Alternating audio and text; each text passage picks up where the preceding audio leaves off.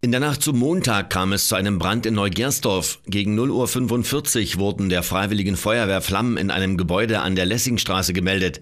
Es wird als sozialer Möbelmarkt und Teppichhandel genutzt. An der Rückseite standen Mülltonnen in Flammen. Sie hatten sich bereits auch in einem Raum des angrenzenden Gebäudes ausgebreitet.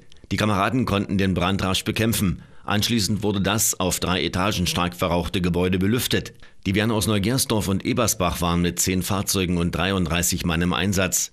Die Ursache des Feuers ist noch unklar. Die Lessingstraße war im Zuge der Löscharbeiten voll gesperrt.